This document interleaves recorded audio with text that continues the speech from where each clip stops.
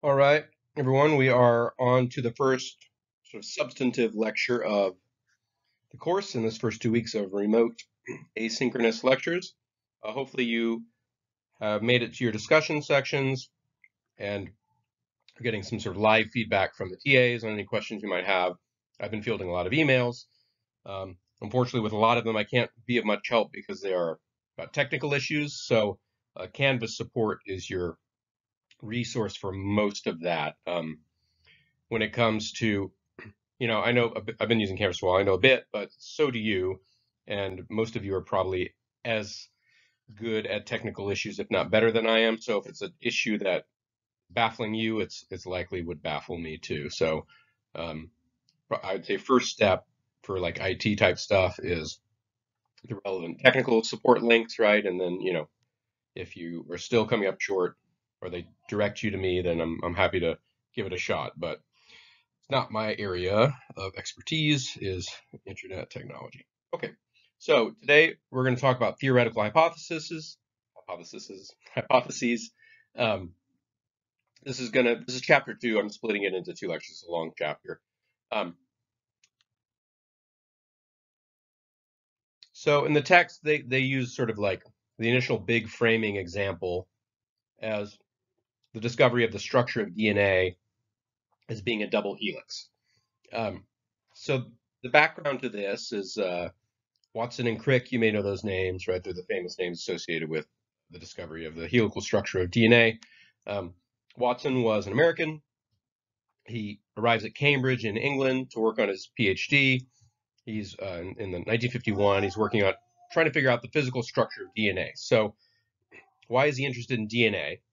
Well, we've known for a long time since Gregor Mendel, at least, right, the, a monk who discovered some of the genetic, some of the the ways that plants sort of inherit their characteristics from their parents. Um, children resemble their parents, right? These traits in humans are transmitted through the sperm and the eggs, um, and whatever that is, sort of as a placeholder for whatever that is, that mechanism, right, that transmits these properties that are similar between parents and children we call genes, right? So the question is, what is a gene? Sort of, we know in the abstract by deduction that there must be something like this, right? And you can sort of breed different plants with each other and see how the various traits um, get transmitted in certain circumstances and not others, and you can make some pretty um, accurate inferences about sort of the functional properties of of whatever is doing this stuff. So we call those genes, but we'd like to know precisely what they are. So we knew a little bit at that time about sperm and eggs. We knew they contained DNA. We also knew they contained proteins. Um, at the time, most of the scientists thought that the genes were associated with the proteins, right?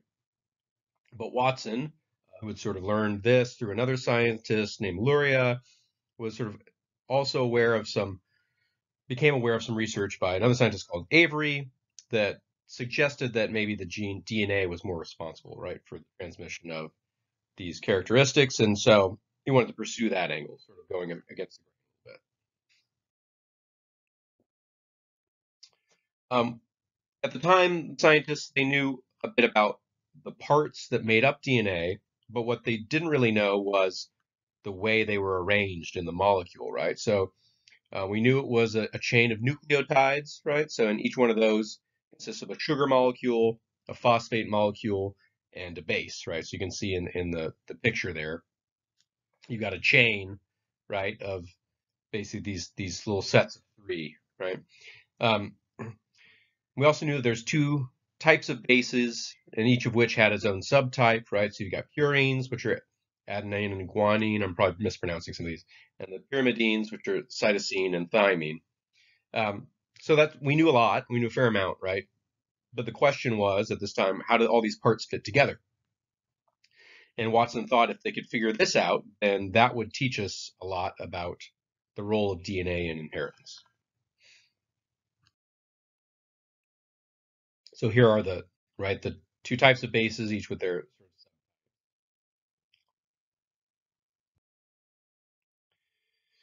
So meanwhile, uh, another scientist, Wilkins, over in London, had been taking X-ray photographs of DNA. Right. So here we have a an X-ray photograph It's a bit confusing. Um, but if you're trained, right, to look at these photographs, they these tell you that whatever it's a photograph of has a regular crystalline structure. You can see some of the regularity, right, in the sort of lines and the repetition. Um, so this revealed some hints, right, as to structure, right? All this, all the knowledge they had so far about the parts of the DNA were from biochemistry, observing different reactions. Um, but they, this is the first time they sort of were able to get a, a actual look at it in a sense and what it looks like. What does the structure look like?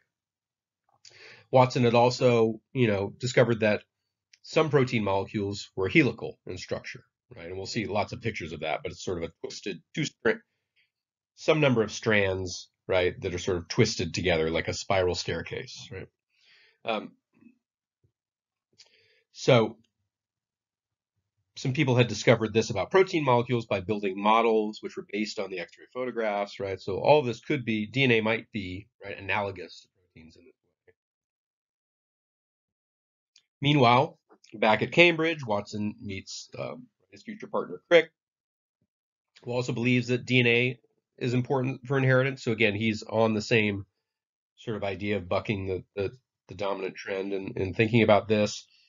So they start working together, and their speculation is like, well, since these proteins have a helical structure, maybe DNA has a helical structure too.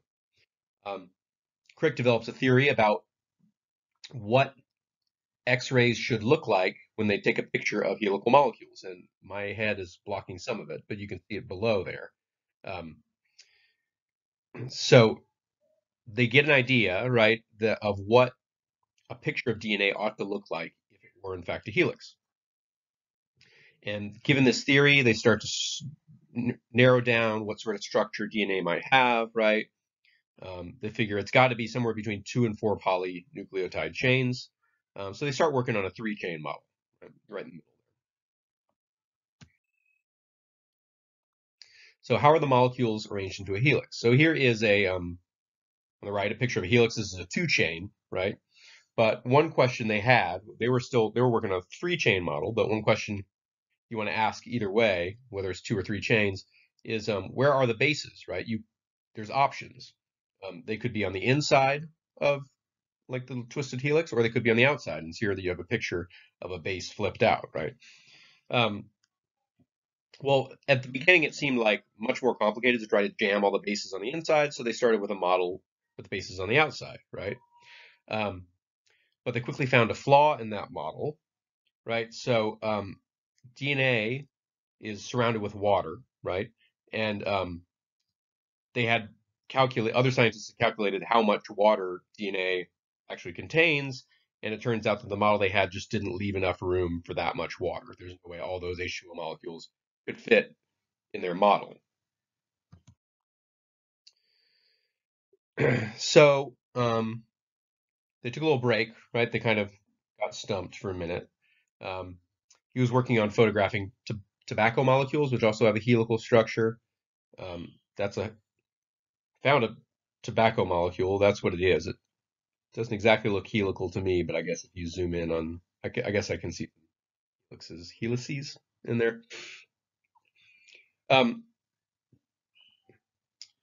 so, and meanwhile, there was some more data coming in, right? More people were becoming interested in DNA, right? So all of a sudden, this sort of like they're no longer totally bucking the trend, right? And it's starting to get trendy. Um, another scientist, Chargaff, discovers that the relative amounts of some of the bases in DNA are same across many species, right? Um, so if you've got a certain amount of one base, you're guaranteed right? A, a corresponding certain amount of another base, right? Um, didn't quite know what that meant, right? But it did seem significant, right? Interesting data. Um, so now they're getting a little competitive. A lot of other people are sort of on to this DNA idea. So their three chain model didn't was not consistent with the data as far as like the amount of water. So they decided to try a two chain model and to put the bases inside. Now the problem with putting the bases on the inside right, is the helix is has the same diameter throughout, right? But the bases are of different sizes, right? So how can they sort of all match up? Um, they do need to connect in the middle. Um, so they try to build it anyway, and they and they first start trying matching like bases with like, so adenine with adenine and so on. Um, it turns out that some other scientists figured out that the bases can't bond like that. They can't bond to, they can't bond the same in that way. But they were building an actual model like out of cardboard and and I think um, metal and stuff, right? Um, and Watson noted that like, well, adenine and thymine, if you put them together, actually turn out to be the exact same size as guanine and cytosine if you put them together, right? So if you always join, right, those two types of bases together, you're going to get a uniform diameter all the way up. Um, so now they've got their model, right, and they've actually got a physical model they built, um, and they confirm, right, by X-ray photography that in fact it looks like what they predicted it would look like, right? They win. They discovered the structure of DNA, right, or, or so they concluded, right? So that's the story, right? And that's just sort of a a narrative of a scientific episode in history, right? Um, and as presented, I didn't present it quite as completely as the as the text, which is in turn summarizing it from sort of a biography of, of this historical episode. Um, there's a lot of details in there, right? Um, the whole story, if you tell it, is going to be a mix of some rational logical inquiry, some stuff about people's idiosyncratic personalities, right? A little bit of competition, uh, a bit of luck, inspiration. Um, so the trick is to pull out the elements of the story that are going to be common to other scientific discoveries and encapsulate what are the rational elements of this process, right? If we want to give a schematic of like what's the logic of discovering something important in science, um, what does it look like, right? If we we take out the details of personality and stuff. Um, now, the truth is, you can't always leave out the personalities, right? Um, context science is something done by humans. It's always going to be in a human context, right? Um, these scientists are humans. They are not always completely guided by right a pure pursuit of truth and always guided by logic. There can be competitive, egotistical, backstabbing, and so on, right? But so maybe that's a good thing, all right? That means that the discoveries of science aren't dependent on any particular human just being really outstanding, right, in some way. Um, hopefully, the idea is that uh, despite all these different personalities, there's something about the structure of scientific inquiry that uh, helps it to work so well and to create these many incredible advances that we I don't think I have to sell you on science, right? We land people on the moon, we can cure many diseases um, that used to cripple cripple populations, right? Uh, so like the Black Plague, things like that, right? So science is great. There's something great about it. And it's probably a good thing that the great thing isn't just that there's a few great humans that good stuff, right? There's something about the logic of it. Okay, so we've granted science is a human activity with all the messiness that that entails, right? Um, so what distinguishes it from all the other human activities, right? Cooking, art, politics, religion, right? Um, well, one way to characterize what scientists do is that they explore how the world works, right? Um, religion is mainly exploring um, our relationship with God or with right supreme beings or with um, the universe in some spiritual sense, right? Politics is investigating the way that societies work. Um, science is investigating the world, right? In, I guess, the most general sense, right? Um, so the one thing that all the people in that story had in common was that they're trying to figure out the structure of DNA, right? And that's part of the larger project of trying to figure out how genes work, right? What is the mechanism that makes it so that um, if my hair is blonde, my daughter's hair is more likely to be blonde. Um, how, how does that happen? Um, so the thing about science that distinguishes it from, for example, much philosophy is scientists aren't doing this purely by reason, right? They're not just using logic, just not thinking about how could it work, which ways lead into contradictions. They do a little bit of that, right?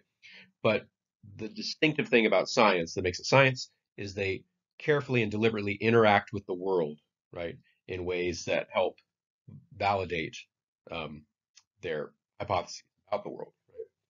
The world itself is telling you which of the possible ways it might work is correct. We can break this process down into several parts.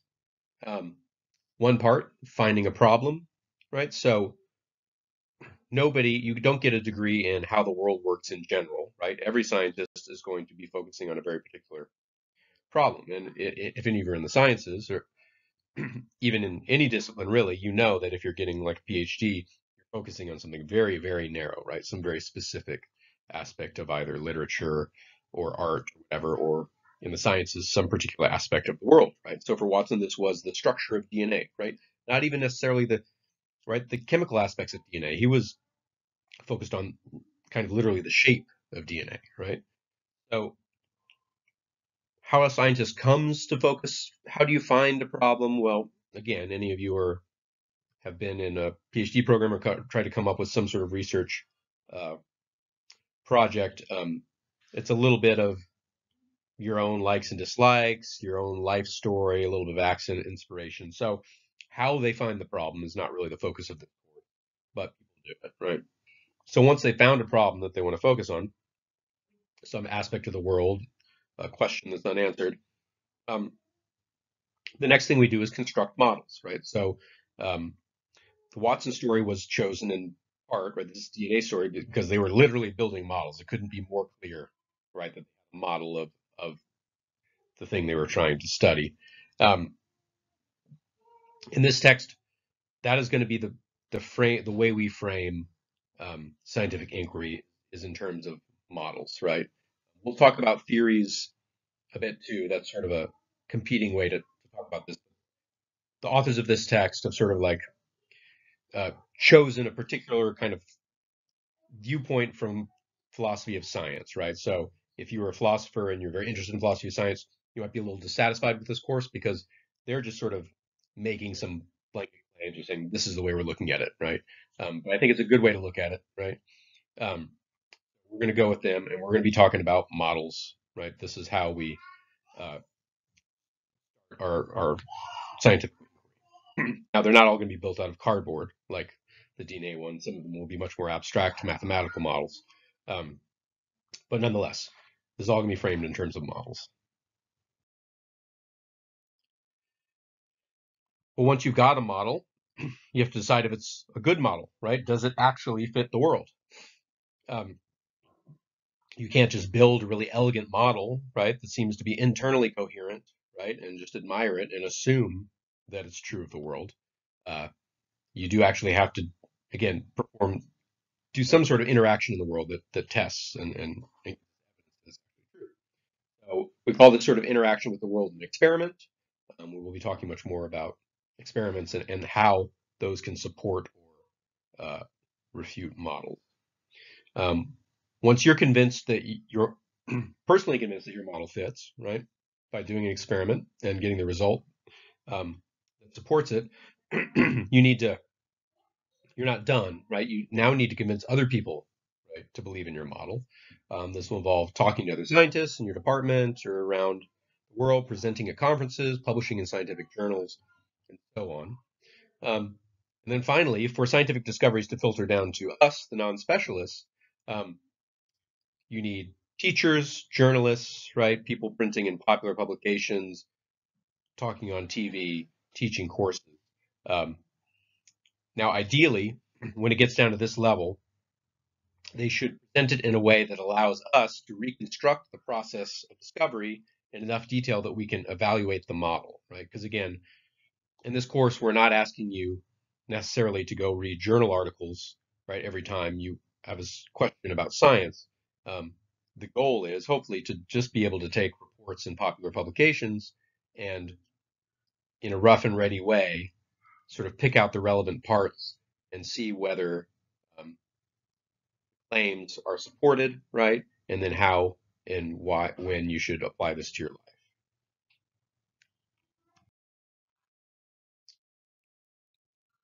So, different types of models. Right? Um,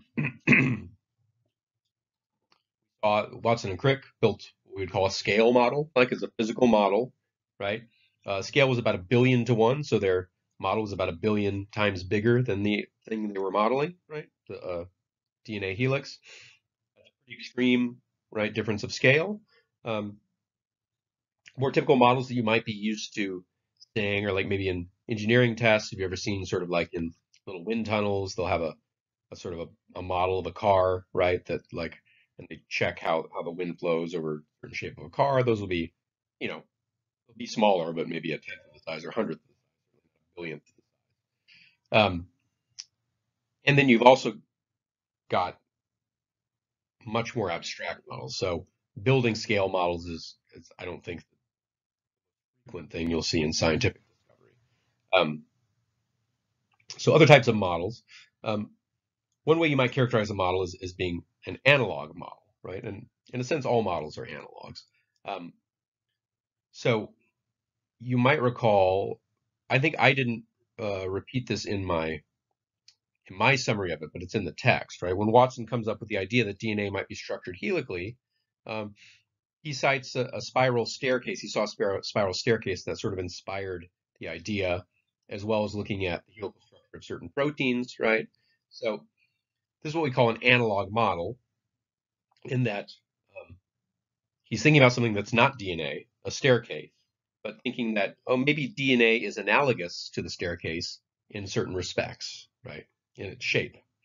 Um, there's lots of analog models. Probably the most famous one, the one that you've most encountered, at least in maybe elementary school and junior high, is the the analog is the solar system model of the atom. Right, we're in the most simplistic version of the parts of an atom, which I have sort of pictured over the right. You've got a nucleus in the middle that looks very much like the sun, and you've got these electrons orbiting around, right, much like the planets orbit the sun.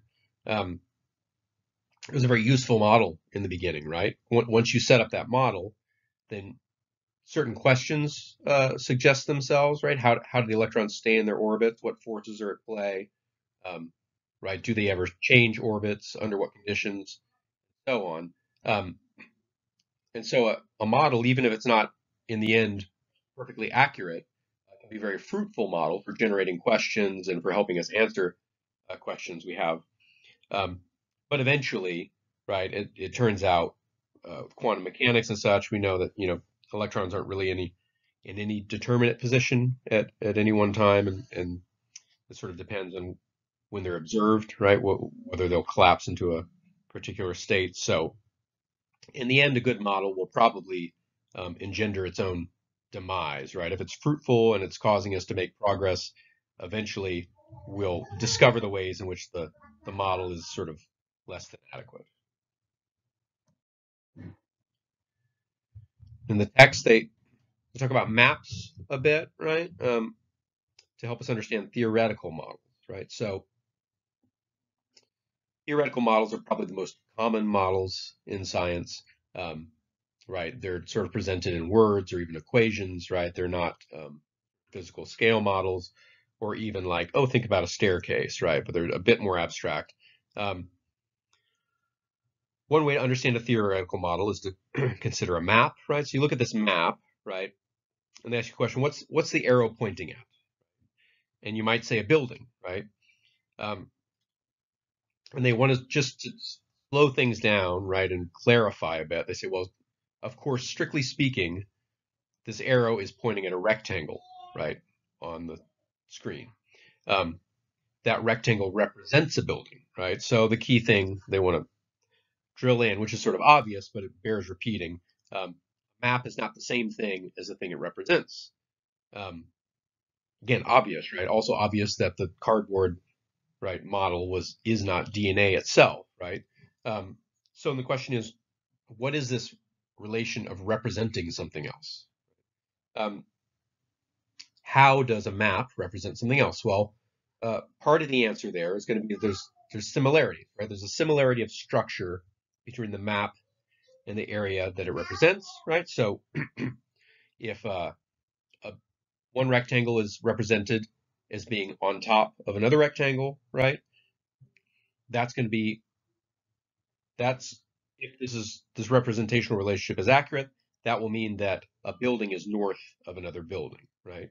Um, if this river looks to be wider than an entire building on the map, then it ought to be wider than an entire building um, in real life. Right? So certain structural relationships will hold even though one is right printed on a screen and another is uh, rivers and buildings. But that's not just enough, right? Um, there's all kinds of similarity relationships, right? There's certain conventions have to be in play, right? So it may by accident be the case that the relationship between my eyes and nose is similar to the relationships in buildings in the world, right? But my face is not a map of those buildings um, simply because it's not, we don't have a convention, right, of using people maps for buildings. Um, so this is something you learn as you grow up, right? We know all about maps and the way they're supposed to be used and the things supposed to be represented and things that aren't, right? So the thickness of the map is going to be very thin. That's not going to mean that is as thin as a piece of paper. Right? We know which parts to ignore and which parts to pay attention to. Um, even for Watson and Crick's model, right, you need to know a fair bit about chemistry, right, to interpret it correctly and to know which relations in the model are going to be relevant and which ones you can ignore. Um, so often when it gets into sort of the special, these sciences, right, these specialized areas, lay people like us are not going to be aware of all the relevant conventions. Um, and the last thing to say about the relationship between maps and models is like, by necessity, maps are going to be less than perfectly accurate, right? They're going to leave some stuff out, right? if it was a perfect representation, then it would just be the thing, right? Um, so, and it's only going to represent certain relevant properties. So I'm sure there are trees, right, in this area that are not represented on the map. Um, I'm sure that if you zoomed in on the exact angles of these rectangles, they would not be exactly the same as the uh, angles of the buildings, right? But um, nonetheless, uh, it can be good enough for certain purposes.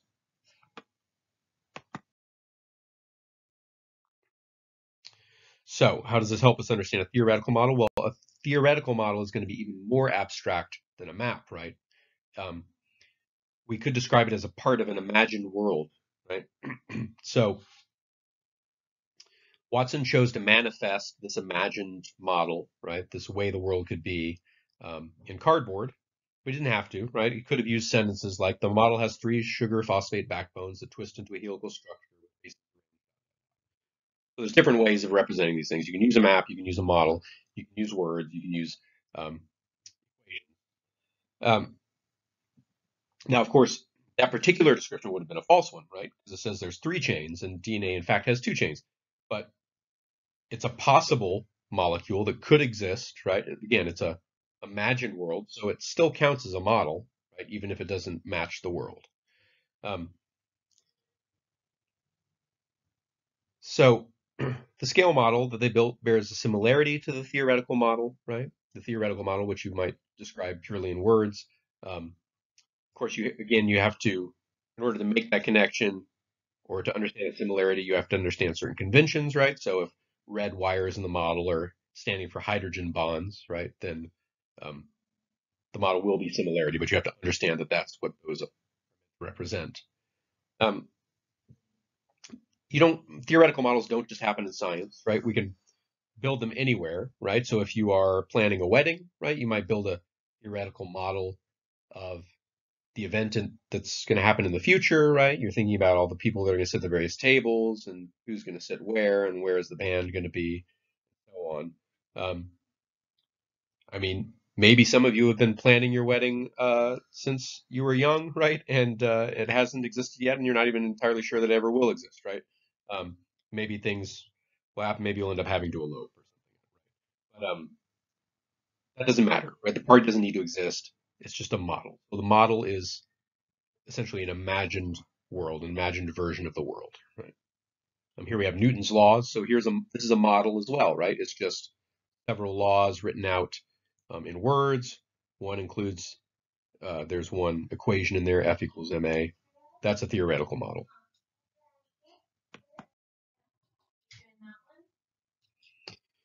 All right. So what do we do with these models, right? How do those how do these give us knowledge about the world? Well, for any theoretical model, we can ask whether it fits the world, right? Um, and to claim that a theoretical model fits the world is to claim that a theoretical hypothesis is true. Um, So, what's a theoretical hypothesis? A theoretical hypothesis is a statement about a relationship between a theoretical model and some aspect of the world, right? It claims that some specific part of the model is similar to some specific part of the world in some respect. If the similarity holds, the hypothesis is true. If not, it's false. So the hypothesis that DNA has three chains is false. The hypothesis that DNA has two chains is true. Now, that's not the only part of the model, right? Um, it's helical, right? So there's not only chains, but they're in a certain right structure. They're, they're twisted. Um, that wasn't mentioned in the hypothesis, right? So the hypothesis is just mentioning some part of the model. So, you know, what does it mean to say that, right, that the hypothesis is true and then the model is similar to the world? These these notions of similarity, truth, they're um, a whole nother philosophy class, right? We we don't have time to get into that. So I am going to assume that you have some pre-theoretical notion of what it means for a sentence to be true and what it means for something to be similar to something else. And we're just going to go with that because if we get into any more detail, um,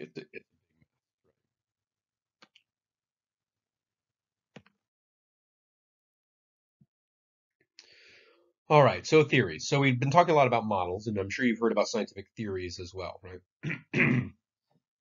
um, certainly, right? Scientists produce theories. Um, the word theory in common parlance is a bit vague and ambiguous, right? Certainly, you've probably heard, you may have heard someone who um, doesn't support evolution and maybe believes is a creationist say something like, well, it's just a theory, right? Or you might say something's a mere hypothesis. Um, but that, you, as you probably know, is uh, not the way we use the term theory in science, right? Um, a scientific theory can be well supported by the evidence, and it's it's still a theory, right? But it's um, almost certainly true as well, right? Um, so a scientific theory, as, as we'll describe it, is going to have two components. Uh, there'll be a family of models, right? So it doesn't have to be a single model. There may be several models, right? You may have the model of DNA. Um, you may have the model of the other proteins and how DNA interacts with other proteins with messenger RNA and so on, right? Um, now, this family of models, they might include some scale models, some theoretical models, um, right? And there's also, in a theory, going to be a set, sorry, I'm putting in a mug. There's also going to be a set of theoretical hypotheses that pick things out in the world, right? And make a claim about the fit between that thing and the model, right? So in 1953, we only had sort of the double helix model, one thing in the world to apply to. Now we have a, a rich sort of like set of models um, constitutes an entire theory of molecular biology, right? It includes models of RNA, other sorts of substances. So a scientific theory is sort of in, in the sense we're using it much broader than a single model.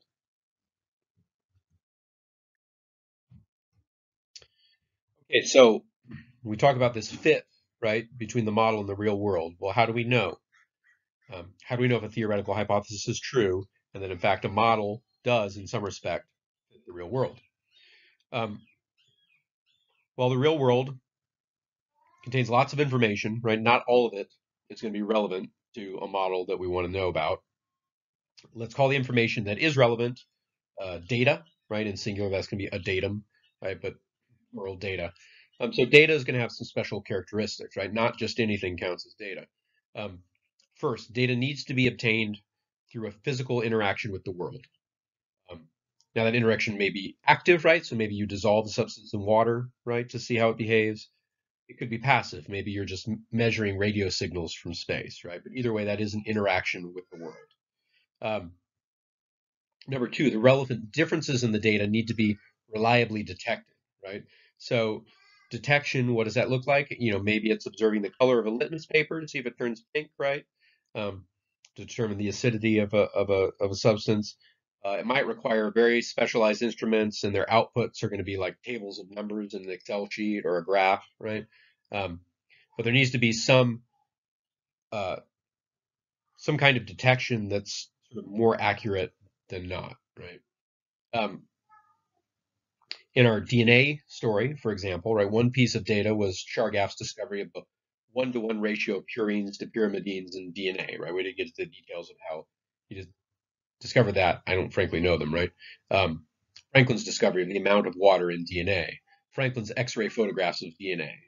Um, so these are all were obtained by interactions with the world, right? Um, we took a photograph, an X-ray photograph of an actual sort of like DNA molecule. Um, now the helical structure of the proteins, right? That was important to the whole process. It doesn't count as data, right? At least not relevant data to the DNA model because it wasn't an interaction with DNA, right? It was an interaction with another protein that had a helical structure that inspired the thought that maybe DNA had a similar structure, but doesn't count as data for this particular model.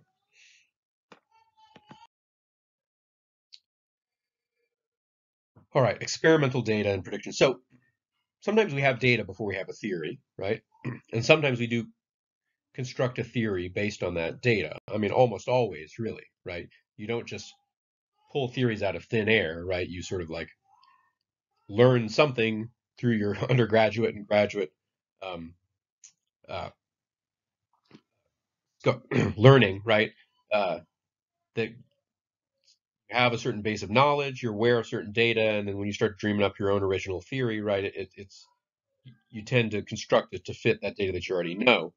Um, but for our purposes, that stuff is not going to count as experimental support for a theory, right? When you construct a theory to fit existing data, um, that's not going to count, right? So even though we do sometimes, and again, we're getting into controversial philosophy of science territory, but we're just going with the way this text sets it up, which I is not a bad way to set it up. It's a reasonable way to set it up, right? Um, even if you may disagree on philosophical grounds. So sometimes when we talk about a theory that's been designed to make sure that it fits pre-existing data, we talk about that as the theory predicting the data, you know, even though it's not strictly earlier in time, but we're going to stick with, um, we're going to privilege experimental data that comes from new predictions of the theory. Um, and computer simulations not going to count as data for us, right? Again, no interaction with the real world. So the text is making some, I don't know, maybe controversial stands here, but I, I, I think they're reasonable ones. Okay, we are at the attendance quiz.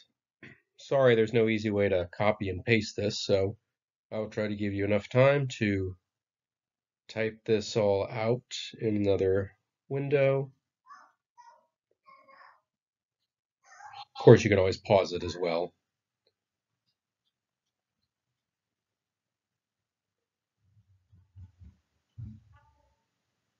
Okay, hopefully that is enough time. Again, if not, just pause it and we'll move on. Okay, the components of a scientific episode, right? So we're going to be analyzing scientific episodes in this course. We're going to get a bunch of them, right? Little stories, not a little less detail than the DNA one, but you know, in some detail. Um, and we're going to be analyzing them and figuring out uh, what does this mean about where's the theoretical model? Does this episode show that the model is supported or not? Right. So the model's going to have four parts, right? This is our own model, right? So now we have a model of scientific episodes in general, and each of the scientific episodes will contain its own model, right? So this is our general model of scientific inquiry. And this model has four parts. There's some real world object or process that's under investigation. There's a model of that real world object or process. The model is going to entail some predictions, right? And there'll be some experimental setup, right, that you need in order to interact with the world. Um, and the predictions are to, describe, given right the model and the experimental setup that you'll use, what this data is going to look like if the model is correct, it does fit the real world. Um, and then finally, you need the actual data. You do the experiment, right? You get a reading, you get a color on the litmus paper, you get an X-ray photograph, right, of the of the molecule, and you decide whether it agrees with the prediction of the model or it does not agree. So this is our uh, this is from the text, right? This is our four components, and again, my head is on top of some of it. on top of the prediction part, but you've got the real world, and it's got a certain relationship with the model, right? They're not the same. Um, you've got the model, and down below the model where my head is, is predictions, right? Um, the predictions will either agree or disagree with the data, and then the real world, right, is what is providing us the data through our interaction with it. So I'm just going to repeat basically what it uh, the real world and the model, they're connected by the theoretical hypotheses, right, which assert that the model fits the real world. Um, the fit's only going to be, you know, in certain respects to some degree of accuracy, right? There's going to be all kinds of caveats, but um, if the model does not fit in those respects, we got a false hypothesis, right? Um, the model and the prediction, they're connected by a process of reasoning or calculation, so they're in light of the experimental design, right? But this is a uh, writing predictions from a model is sort of a process of logic, right? You see a, a general claim and you say, okay, well, if DNA is the shape it is, then we should predict that an X-ray photograph will look like this, right? the real world and the data, those can be connected by physical interaction, right? You actually take the X-ray photograph of the DNA molecule, and then the relationship between the data and the prediction is going to be either one of agreement or disagreement. Um, if the data agrees with the prediction, this is support for the model. Disagreement indicates a lack of similarity between the model and the real world, which indicates that the model is wrong, at least in some respect.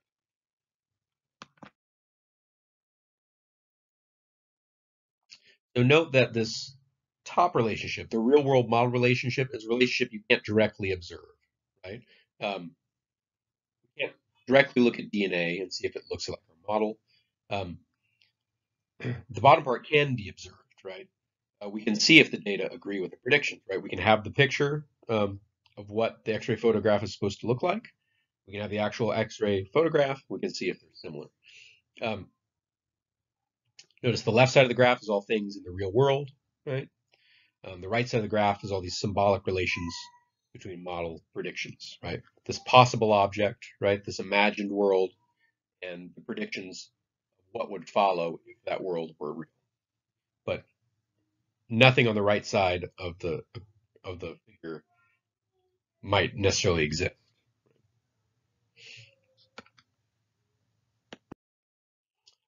All right, we are on the last slide. We're doing all right on time, a little early. Um, so last few things, we're, we're going to see that there's more to evaluate a model than just these four parts, whether the data fit the prediction, um, these essential components, this is where we have to start. Um, now, you might notice if you are involved in the uh, sciences and any detail that there's a lot that goes by the name of science and gets published and things like that that doesn't necessarily include all these parts. I've read plenty of scientific publications based on computer simulations that claim to right uh, support models about uh, psychology. Um, I mean, again, this is a uh, you know this is a philosophical stance that the text is taking, but I, I think it's fair to say that if one of those four parts is missing, um, you might be in a situation where it's just impossible to determine where the model is actually any good. And I think it is safe to say we should privilege um, interactions with the world, right, as the best support for. All right, so that is it for the lecture. Um, do let us know if you have any problems. Do show up to discussion, right? I think that's your best place to get real time feedback. Um, you'll have, you know, make sure you've uh, completed the attendance links for Monday and Wednesday, those quizzes, and uh, uh, you will have some uh, exercises due. Look at the syllabus. I don't, it's not in front of me, so I don't remember exactly the date. For those are the, the next sort of upcoming items. And um, yeah, one more week online, and then hopefully we will be back in person. But uh, that's it for now.